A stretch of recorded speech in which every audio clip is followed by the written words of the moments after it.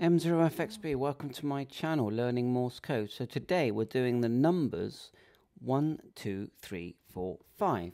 So let's do one at a time and listen to the sounds. Now if you look at the what the, it actually looks like, it's a dot for 1 and then it's four dashes, da da da, and then two dots for 2, three dots for 3, four dots for 4 and five dots for 5. But with 1 to 5 they from one to four they are follow, followed by dashes, but in total you have five digits. So let's just listen to number one.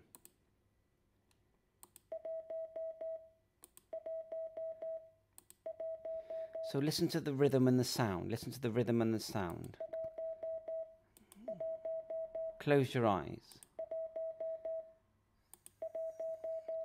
And let's go to number two.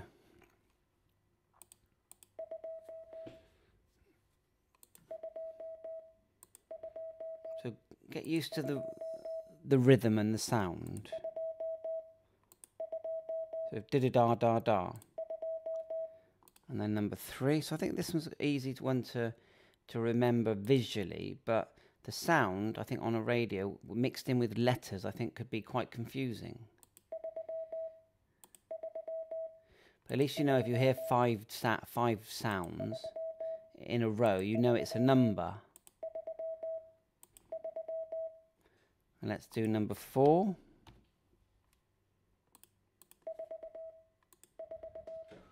You've got four, and then number five. We'll just translate. There you are. Five's an easy one. It's just five dots.